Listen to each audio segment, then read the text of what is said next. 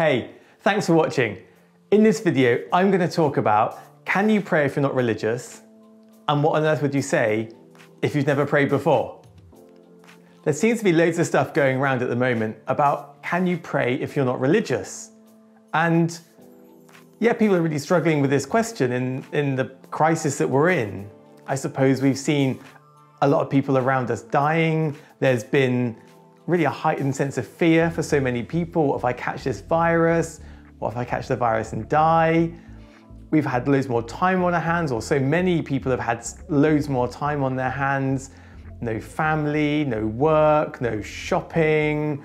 All the things that we kind of use to make life run as normal have been absent. So we've had more time on our hands. We've got these fears that are at play, and there's people who have been suffering and dying around us. And people who might not normally ask questions about faith or religion are asking them and wondering, can I pray if I'm not religious? Is that something I can do? What, what would I say? So I just like to talk about, from a Christian point of view, can someone who's not religious pray? And the answer to that is yes. Of course you can. Of course you can pray. Because our understanding as Christians is that God has created us in his image and likeness.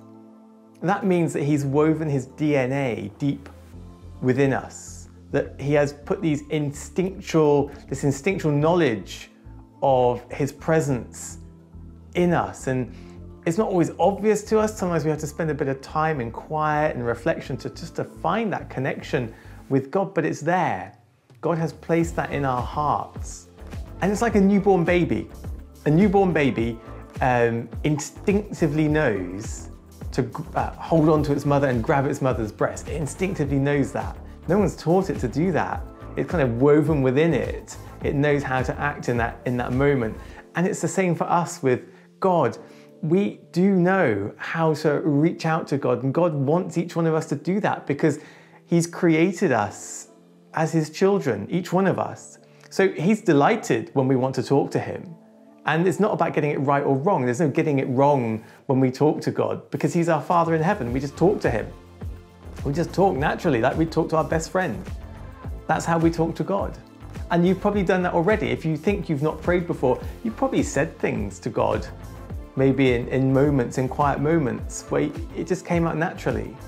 Or if, it's, if you've not done that, if you've been resisting, this is a chance just to try it, just to, yeah, just talk naturally, uh, like you're talking to your best friend, the person who knows your deepest, deepest secrets. That's how to talk to God, to open your heart and to, to trust that He's listening because He is, and He wants to hear what you have to say. Now, there's three words I think which are the foundation of our lives and make a pretty good starting place, not even a starting place, because wherever you are on your journey with God, you use these three words. They make a pretty good foundation for a life of prayer, a life of talking to God. And the three words are thank you, help, and sorry. Thank you, help, and sorry. Three words that make life go round. Thank you, just showing kindness to people, gratitude to people, help, I'm vulnerable, I need help, connections are made when we're vulnerable, and to say that we're sorry, makes the world go round when we mess up. And these three words are absolutely essential when we're, when we're talking with God. We just say to God, thank you for all that you've given me. Thank you for everything I have around me. Thank you. Even if we're in pain, there are things we can be grateful for. And dredging that, that gratitude up is a key in our, in our talking to God. And then asking for help. That is another essential to say to God, I need your help. I'm tiny, you're big. I mess up. You've got me. Help me. And then sorry, sorry God, I've messed up. Sorry I've got this wrong. Sorry I've, I don't know, sorry I don't make as much time for you as I might. Um, sorry I'm not bothered with you before. I don't know. Sorry. Sorry, God. And then we can say sorry to those around us if we've messed up with them as well. It's just three simple words. Thank you, help, and sorry which can really help us when we want to talk to God. So if you've never talked to God before, just encourage you, give it a go. He, he's more than delighted more than delighted for you to do that.